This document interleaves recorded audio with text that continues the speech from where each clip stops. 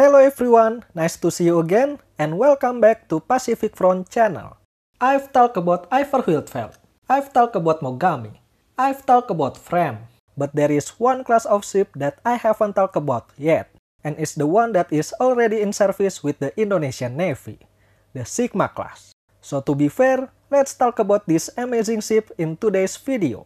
We're gonna look at the Indonesian Navy fleet before Sigma enters service, the type of this class in the Indonesian Navy, and what makes Sigma different from the rest of Indonesian Navy combatant ships. Stay tuned.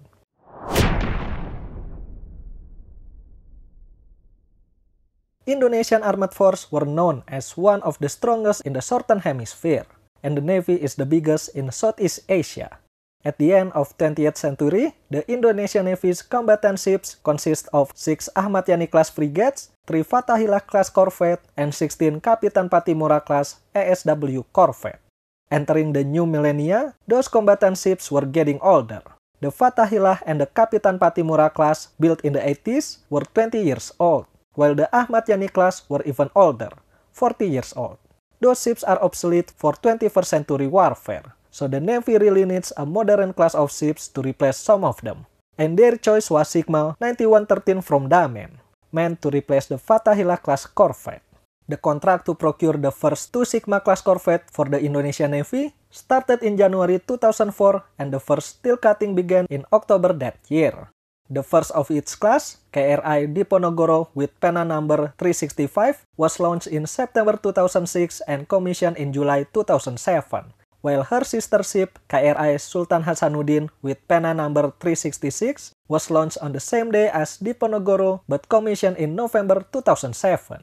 Follow-up contract for two additional ships was announced in January 2006, and the first steel cutting began in April that year. The third ship, KRI Sultan Iskandar Muda 367, was launched in July 2007 and commissioned in October 2008. And the last one, KRI Franz Kaisepo 368, was launched in June 2008 and commissioned in March 2009. There was a plan to move the construction for the second contract to Pitipal facility, but the lack of necessary equipment and the technological know-how was still a major issue for Pitipal in the early 2000s. Diponegoro class is a multi-purpose corvette with primary mission to conduct anti-submarine warfare, anti-surface warfare, and anti-aircraft warfare. With a length of 90.01 meters, beam of 13.02 meters, draft of 3.6 meters, and displacement of 1,692 tons. She has a maximum speed of 28 knots, maximum range up to 4,800 nautical mile, and has a complement for up to 80 personnel. Her main armaments include one Otto Melara 76mm main gun, two Denel GI-2 20mm gun, eight Mistral Tetral anti-air missile, four Exocet anti-ship missile, two triple launchers torpedo, and has a facility of flight deck for one helicopter.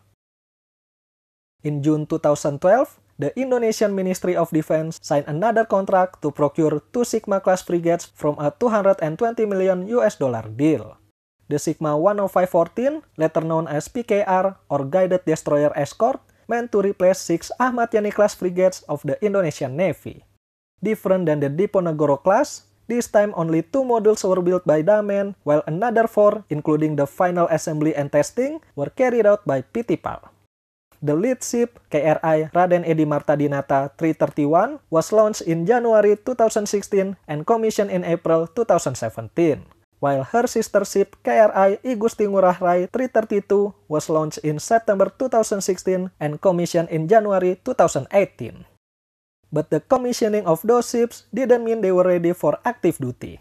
Due to the nature of their procurement using a fitted for but not with method, some of the system haven't been installed yet until a couple of years later, including the 35mm Millennium gun for close-in weapon system.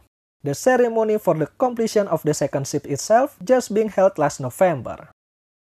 The Marta Dinata class is a multi-mission frigate with the capability to conduct anti-submarine warfare, anti-ship warfare, anti-aircraft warfare, also electronic warfare.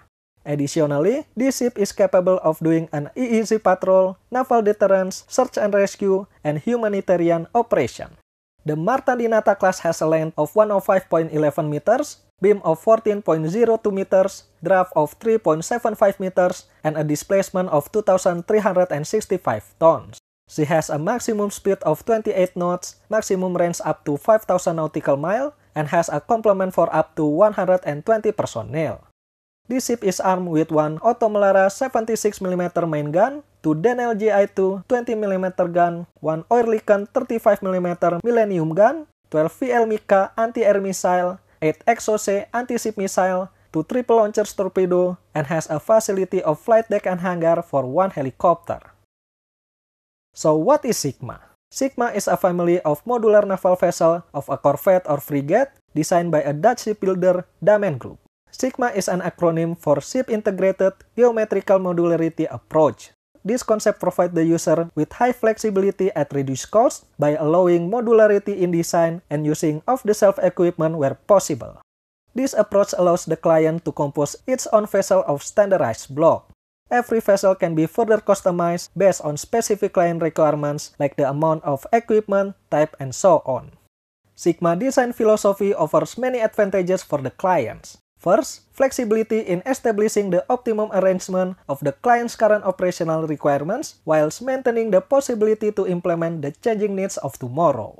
Second, easy implementation of modification or upgrades in the future, avoiding premature obsolescence of the vessel.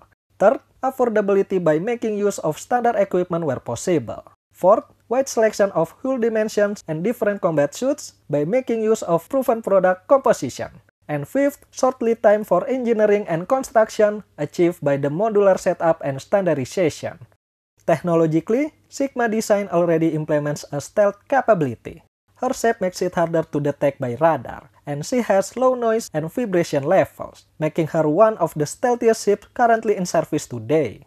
Besides Indonesia, the Royal Moroccan Navy and the Mexican Navy also procure several Sigma class design. My first impression when I saw the picture of Sigma was, this ship looks cool. Looks very different from the rest of the Indonesian Navy fleet. And the name Sigma, I feel like it's kinda weird for a ship name, but also kinda catchy. Why did they name it like a formula from a math problem? But because of that, I started to learn more about these ships and her features. Now that I'm much older, I began to respect this class of ship more and more.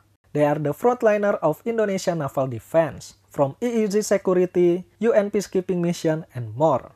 Not only that, they also provide helps when an emergency happens. When there was a plane crash and with the latest submarine tragedy, they help the rescue effort with their sophisticated sensor. I must say, these ships are very reliable, and I'm glad we chose it in the first place. And we bought them new, not a second hand like the other vessel. From the industrial standpoint, the procurement of Marta Dinata class is probably the biggest leap for Indonesia naval industry. Never before Indonesia had the opportunity to build such a sophisticated vessel, and Daman gave that chance. Their flexible manufacturing collaboration with the local industry is greatly appreciated. It's one more step forward for Indonesia before we can design our own frigates. There you have it, the Sigma class family. Indonesia Navy first modern vessel. What do you think about this one? Share with us in the comment section below. And as always, thank you for watching. I hope you enjoy it. Don't forget to like this video, share it with your friends and family. And before I go, today is also my mom's birthday. So happy birthday mom!